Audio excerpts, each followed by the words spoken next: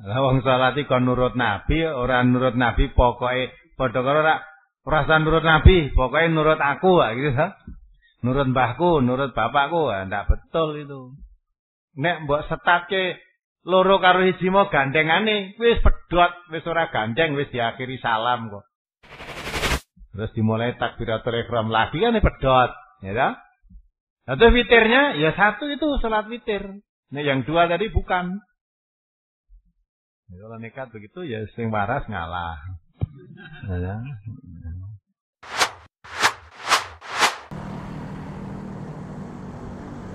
warahmatullahi wabarakatuh. Waalaikumsalam warahmatullahi wabarakatuh. Nama Edi Purwanto dari Rembang. Di sini mau saya mau minta penjelasan ataupun saran dari Ustadz yang berhubungan dengan sholat tarawih dan witir. Ya. Kebetulan di desa saya adalah saya sebagai imam di masjid dalam sholat tarawih dan witir. Tetapi ada permasalahan, yaitu tentang witirnya. Tentang? Tentang witirnya. Ya. Selama ini yang saya laksanakan adalah sesuai dengan tuntun Nabi, yaitu witirnya adalah tiga rakaat salam. Tapi setelah saya laksanakan sampai beberapa minggu atau beberapa hari, dari jamaah protes menghendaki sholat witir dua rakaat salam dan satu ditambah satu rakaat salam. Padahal dari jamaah ini sudah saya beri penjelasan tentang hadisnya ataupun ilmunya yang sesuai dengan apa yang dilaksanakan oleh Nabi. Tetapi dari jamaah tersebut tidak mau menerima. Mengendaki pokoknya minta dilaksanakan dua rakaat salam dan satu rakaat salam.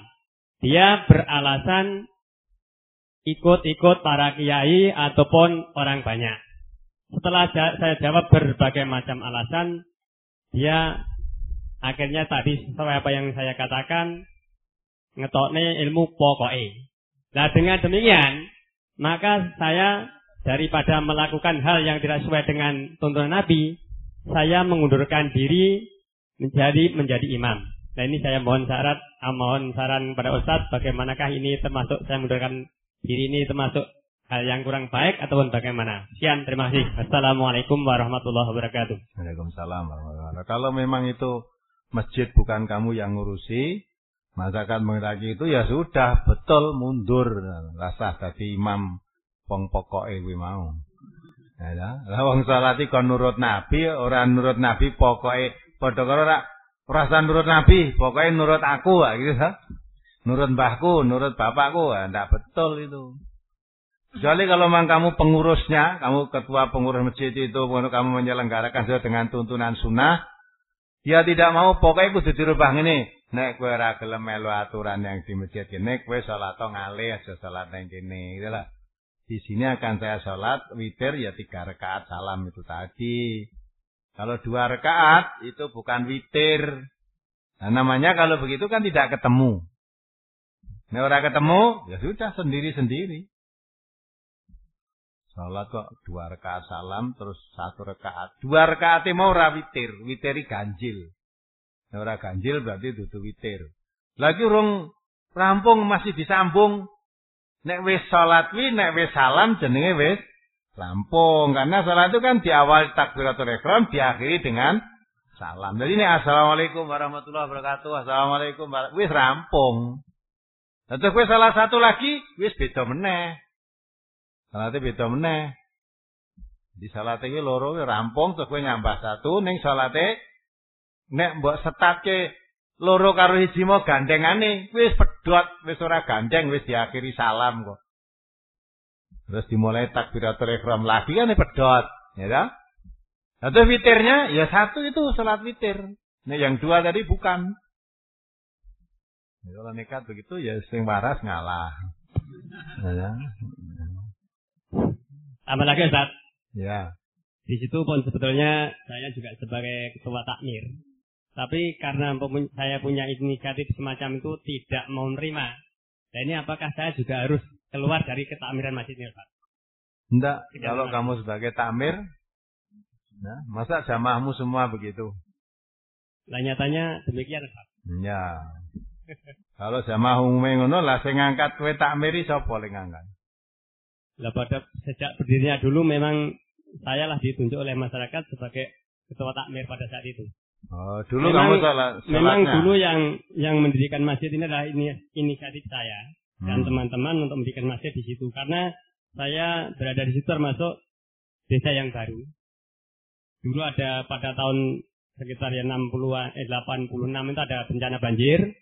Terus ada masyarakat yang dari desa kebanjiran itu naik ikut di tempat saya. Tempat saya itu dulunya baru satu desa satu apa itu dukuh itu ada, ada hanya ada beberapa orang.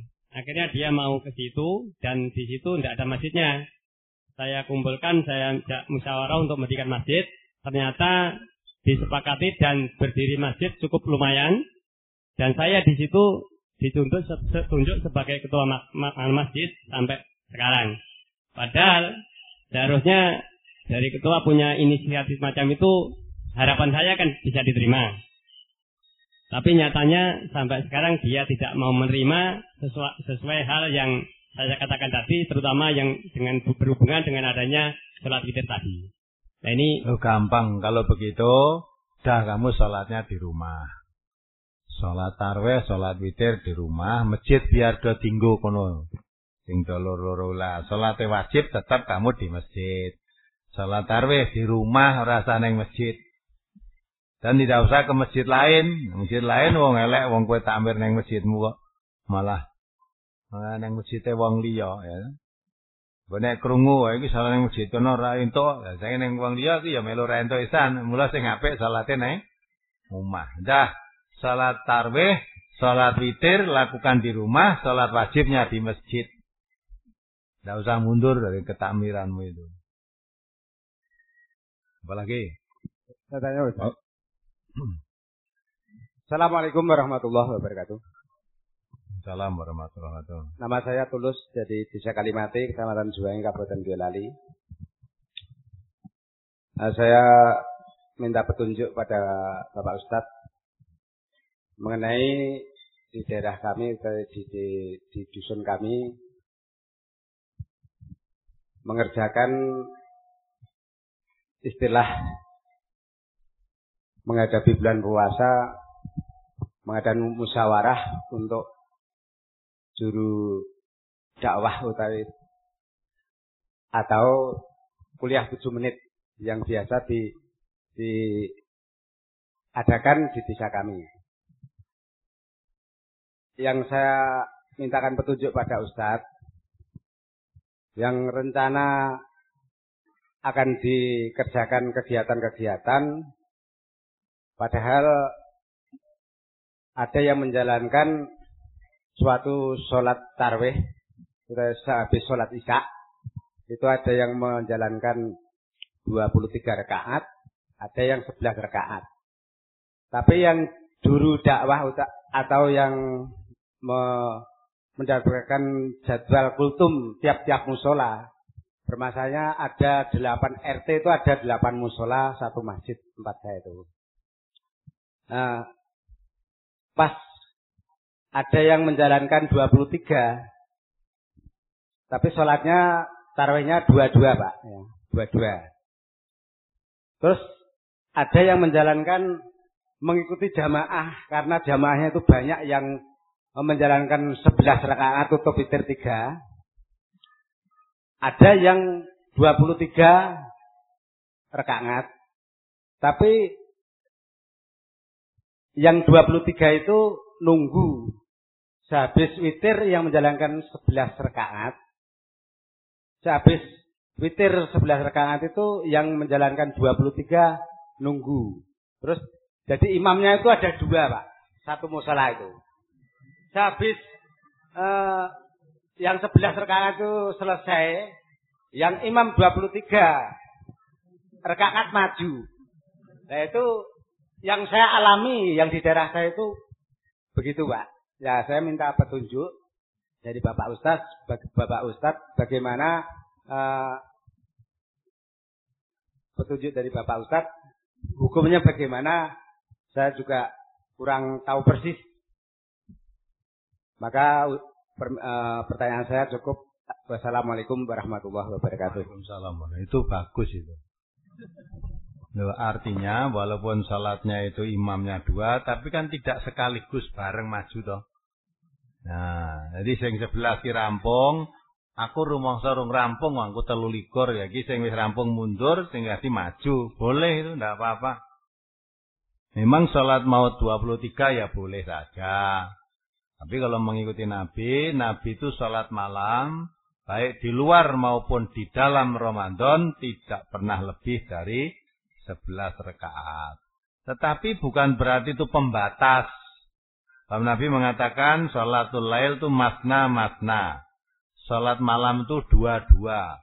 Waktunya sholat malam, dua-dua, dua-dua, dua-dua terus. Kalau kamu khawatir kesubuhan, maka tutuplah dengan satu rakaat sholat witir. Nah, dua-dua ini banyak bisa. Misalnya Mulai jam 3 kamu sholat dua rakaat salam, dua rakaat salam, dua rakaat salam. Mungkin tekan sahur wis tekan subuh untuk piro minggu.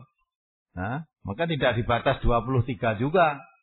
Hanya kalau Nabi melakukannya tidak lebih dari 11 rakaat termasuk tahajud dan witirnya. Walaupun demikian Nabi tidak membatas bahwa sholat malam itu hanya 11 rakaat. Tidak. Maka ada yang mengerjakan 23 silahkan. Yang penting kalau satu masjid kok yang satu paham 23, yang satu 11. Ya. Ya sudah nih kalau yang 11 selesai, yang 23 merasa belum selesai, nanti melanjutkan. Ya, melanjutkan ya ganti imam, mundur. Ya nek imam itu dewi-dewi itu tidak boleh. Ya, sing imam telulikur neng kene, palikur para masjidnya dikai tabir. Sing telulikur neng kene, sing tak sing sebelah neng kene. Lah ngono Ya kisruh. Kalau sekali sholat imamnya dua, kisruh. Ini maca waladolin. Amin. Supaya sing waladolin mah dudu imamku toh. Ya, bisa terjadi begitu nanti. Ruko sujud ya gitu, bar sujud Allah Akbar pas tangi, oh imamku urung Pak. Nah, bisa kacau kan? Kalau itu tadi masih gantian masih bisa dipahami. Kamu sebelah selesai, oh sudah. Wan mangundur kula ganti tak dadi imam. Nutoke sing telu likur niki. Itu boleh enggak apa-apa. Nah, walaupun begitu sing rukun ora sah. Ya, sengol-sengolan ngomong ora sah dadak poyok-poyokan ya. Ben telu likur ben telu likur, sing 11 ben 11 sudah. Nah, sing 11 sing rampung ya tuh mulai. Hmm, ora sah dadak nunggoni telu likur ngendak ganggu ngebak-bak inggon ya. Dah. Jadi itu cara itu tidak usah dipermasalahkan, itu semuanya boleh dilakukan. Sudah cukup? Baik, mari kita akhiri. Alhamdulillahirrahmanirrahim. Subhanakallahumma wa bihamdika asyhadu an la ilaha illa anta astaghfiruka wa ilaik. Assalamualaikum warahmatullahi wabarakatuh. Ya, demikianlah para pemirsa semuanya apa yang dapat saya sampaikan untuk pertemuan kali ini. Saya berharap dengan memutar kembali ceramah kenangan bersama Ustadz Dr. Andes Ahmad Sukino ini dapat menambah hasanah ilmu yang kita miliki. Wassalamualaikum warahmatullahi wabarakatuh.